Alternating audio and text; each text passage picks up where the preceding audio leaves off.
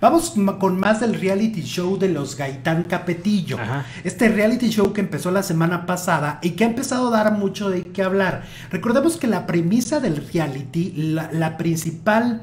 Em, eh, pues sí, la principal historia es la celebración de las bodas de plata ya alargadas, es decir, por pandemia ah, pasa lo mismo que OV7, ya no son 25 años, son 27, 28, pero es por la pandemia que se ha ido retrasando. Y los Capetillo Gaitán están haciendo este, este reality para mostrarnos todo el proceso, todo el proceso creativo, que si yo escojo aquello, que si yo escojo esto.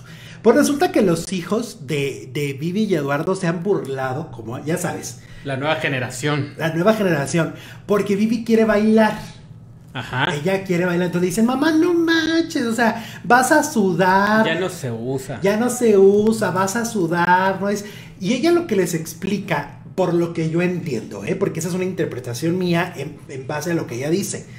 Que como se casó embarazada, que todos recordamos ese eh, estómago tan abundante, ¿no?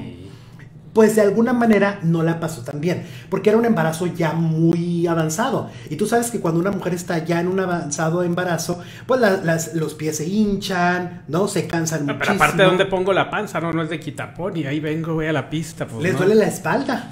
Les duele la espalda. Y te, acuerdas que se veía así, o sea, veía tan delgadita y con un súper estómago. Y ahora se la quiere pasar bomba, ¿no? Entonces como que no lo disfrutó. Eso. Eso es producir. O sea, ahora lo que intenta es disfrutar su boda, vivirla. Es que le diga, por tu culpa no disfruté mi primera boda, así que te callas. El que venía en la panza. Y es ese, el que reclama. Ah, el mayor. El mayor, mira. El mayor, es el que le dice que no sea ridícula, que no sé qué. Y yo digo, cállate, tú cállate. Pues son tus papás que hagan lo que les dé la gana, ¿no? Pues sí. Es que no, no, te, has fijado que a los hijos se nos olvida que los padres son seres humanos tal cual como nosotros, o sea, y, luego quieren que hagan lo que, lo que ellos desean nada más. O sea, yo sí creo que, que es válido lo que Vivi quiere, me parece súper bien. Y bueno, en otro tema, pero en lo mismo, resulta que Eduardo Capetillo habló en las redes sociales porque desmintió lo dicho en de primera mano. Ya ves que en de primera mano dijeron que Eduardo y Vivi tienen un acuerdo, que no pueden hablar más de 10 minutos con un desconocido, ¿no? Eso lo dijimos aquí, lo dijeron ellos en su programa de televisión. Pues Eduardo dice que es mentira. Escuchemos a Eduardo Capetillo. No, nuestra relación no tiene ese tipo de reglas ni remotamente. Nuestra relación lo que tiene es mucho amor y mucho respeto. Pero entiendo que tanto amor y tanto respeto durante tanto tiempo pues generen algunas personas esa envidia. Pero recuerda que quien más te ataca es quien más lastimado está, quien más roto por dentro está.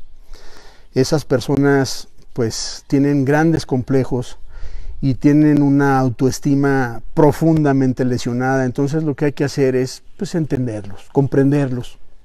No, no estoy contendiendo por ningún puesto de elección popular y mi esposa tampoco.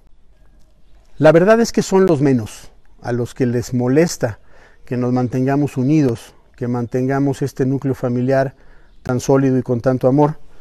Pero también a ellos yo los incluyo y también a ellos les doy las gracias y les mando todo mi cariño y que Dios los bendiga a todos. Gracias. Yo digo que Eduardo le baje dos rayitas. O sea, la verdad es que no creo. En lo personal, a mí, las anécdotas que yo les conté en el video del, jueves, que platicábamos eh, sobre cómo es la relación de Eduardo, cosa que es real de Eduardo y Vivi, que se peleaban en los foros de Televisa, etcétera. Yo lo conté porque es una verdad. No porque les envidie una relación, no porque quiera que rompan. No, no, no, no. O sea Perdón, Eduardo Capedillo, creo que estás absolutamente equivocado de cómo nos manejamos muchos. Simplemente son cosas reales. Ahora, si él quiere decir que tienen el matrimonio perfecto, pues bueno, es válido, pero, pero la verdad es que como, como le diría Stephanie Salas a Luis Miguel, Pinocho. Pinocho. ¿no? Ahorita te voy a contar. Pinocho, Pinocho, Pinocho. Capetillo. Ahí está. No me agrada Eduardo, dice Cata Acevedo. Mis friends ya están aquí, ya estamos aquí. Tus Oye, te andaban abandonando. ¿eh? Incondicionales, dicen mis friends. ¿Qué les pasó? ¿Qué les pasó? gracias.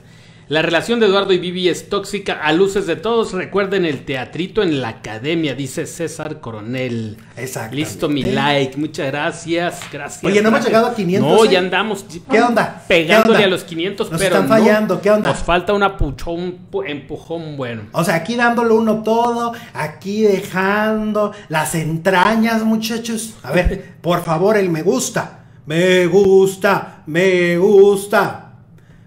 ¿Cómo vamos? Claro ¿Cuántos, sí. cuántos, cuántos? No, todavía no llegamos, todavía no llegamos, pero queremos, queremos. Píquenle ahí, hombre, dedito arriba.